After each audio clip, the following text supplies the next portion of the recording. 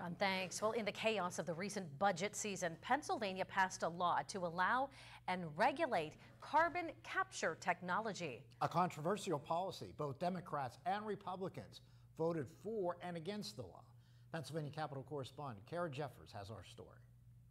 Carbon capture technology is the attempt to capture carbon during energy production, like with coal or other fossil fuels. Uh, was this idea that you can take the carbon dioxide, you can put it underground and keep it there. And by doing that, you can start reducing emissions and sort of canceling out emissions. The technology is in the research stage and has links to Hydrogen Hub development.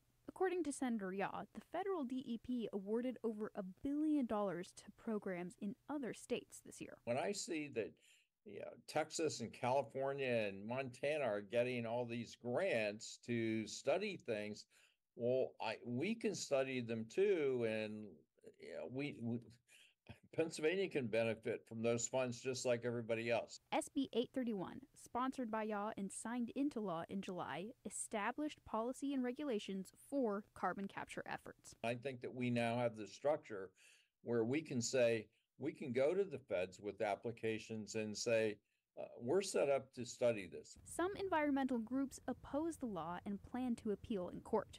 Better Path Coalition said no prior research projects have succeeded in high capture rates, and there is little known about what happens after carbon is put back underground. Nothing has worked to date. Lots of people consider it unproven, but there are those who call it disproven. Supporters like Senator Yaw maintain it's better to be proactive, and success could lead to economic and energy growth for the Commonwealth. In Harrisburg, I'm Kara Jeffers, Erie News Now. Now, there's also concern about property rights. Companies would have to buy subterranean space from property owners to store the carbon in.